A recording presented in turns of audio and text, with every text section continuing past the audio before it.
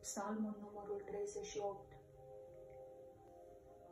Zisam, păzi voi căile mele ca să nu păcătuiesc eu cu limba mea, cu sangurii mele pază când a stat păcătosul împotriva mea.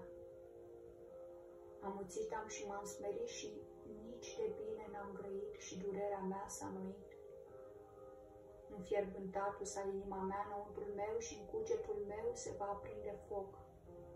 Grăit am cu limba mea, fă cunoscut, Doamne, sfârșitul meu și numărul zilelor mele care este ca să știu ce-mi lipsește. Iată, cu palma ai măsurat zilele mele și statul meu ca nimic înaintea ta. Dar toate sunt deșertăciuni. Tot omul ce viază deși ca o umbră trece omul, dar în zadar se tulbură.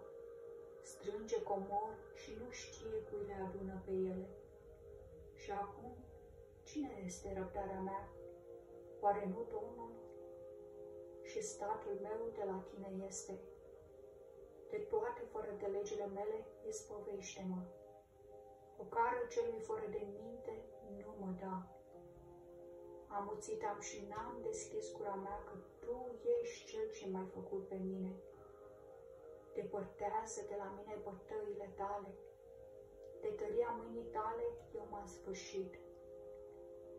Cu mustrări pentru fără de lege ai pedepsi pe om și ai subția ca pânza de păianj în sufletul meu. Dar în deșert se tulbură tot pământeanul. Auzi rugăciunea mea, Doamne, și cererea mea ascultă. Lacrimile mele să nu le treci, căci străin sunt eu la tine și străin ca toți părinții mei. Lasă-mă ca să mă odihnesc mai înainte de a mă duce și de a nu mai fi.